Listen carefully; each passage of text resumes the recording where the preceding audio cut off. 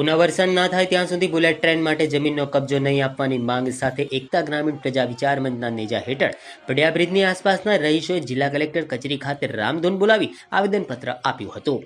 Bullet ટ્રેનમાં સંપાદન થતી જમીન, દુકાનો અને મકાનો યોગ્ય વળતર આપવાની માંગ સાથે આજે સ્થાનિક રહીશોએ એકતા ગ્રામીણ પ્રજા વિચાર મંચના નેજા હેઠળ વડોદરા જિલ્લા કલેક્ટર કચેરી ખાતે પહોંચી હોબાળો મચાવ્યો હતો. સાથે સરકારની નીતિનો વિરોધ કર્યો હતો. જિલ્લા કલેક્ટર કચેરી બહાર તમામે બેસી જઈને રામધૂન બોલાવી પુનર્વર્ષન માટેની યોગ્ય જાહેરાત કરવાની માંગ કરી હતી અને જો માંગ નહીં સ્વીકારાય, તો આગામી દિવસોમાં ઉગ્ર આંદોલન કરવાની ચીમકી પણ ઉચ્ચારી હતી મારું નામ અંજના છે અમે લોકો નાનાવટી રહીએ છીએ. અમારા જે વિસ્તારમાં છે, બુલેટ ટ્રેન પસાર થવાની છે.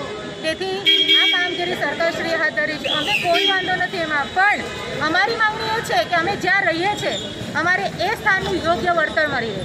આજે અમારા બાળકો ભણે છે, કોઈ દસમામ છે, નાના વર્ગમાં છે. એક જગ્યાથી નવી જગ્યા પર સેટ થવું એ બહુ મોટી વાત છે. એની માટે સારી આવક જોઈએ. અમે સર્વ સામાન્ય મધ્યમ વર્ગના લોકો છે.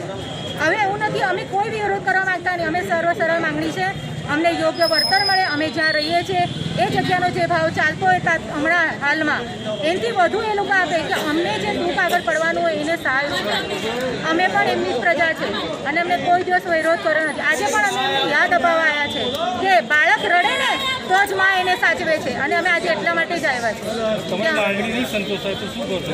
પછી આગળ જે પગલાં ભરાશે તે અમારા આગળ આગેવાન કહેશે એ મુજબ કામ કરવાનું છે. અને બને ત્યાં સુધી અમે શાંતિથી જ કામ કરવા માંગીએ છીએ.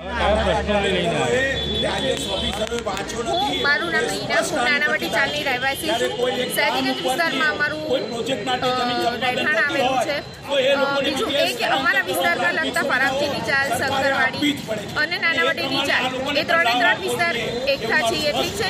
એમાં જે છે, અમને યોગ્ય વળતર મળવું જોઈએ. બુલેટ ટ્રેન તરફથી જે અત્યારે જે જંત્રીનો જે ભાવ ચાલે છે, જમીનનો જે ભાવ ચાલે છે, અમારા વિસ્તારમાં જે જમીનનો જે ભાવ આવે છે, તે યોગ્ય વળતર અમને સરકારશ્રી તરફથી મળે તેટલી અમારા ત્યાંની જે વસવાટ કરતા જે પ્રજા છે, એમની અપીલ છે.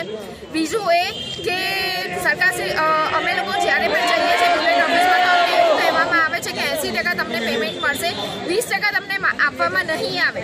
તો તે ખોટું છે બિકોઝ એ લોકોનું એવું જણાવવાનું છે કે એંસી ટકા આપીને તમારે અમને જે અમારી જે જમીન છે પૂરેપૂરી એમને આપી દેવાની અને વીસ ટકા એ લોકો પાંચ છ મહિના પછી આપશે.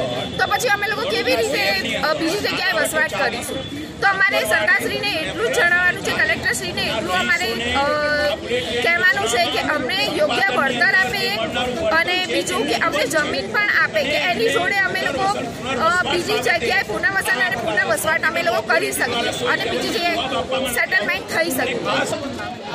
આજે બુલેટ ટ્રેન જે પંડે હોટલ વિસ્તારમાંથી નાણાવટી ચાલ, ખરામજી ચાલ ગોકુલભૈયાની ચાલ, શંકરવાડી સમૂહ સોસાયટી તમામ રહીશો આ બુલેટ ટ્રેનમાં ઇફેક્ટેડ છે.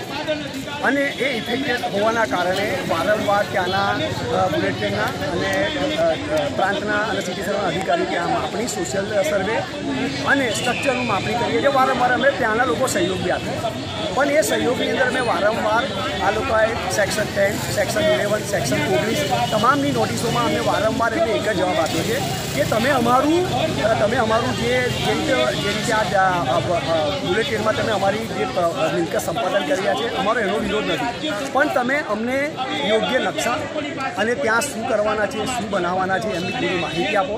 તો અમને આગળની ખબર કે અમારે શું કરવાનું. પણ એમના તરફથી આ જ પ્રકાર આ જ દિવસથી કોઈ પ્રકારનો સહકાર નથી મળ્યો.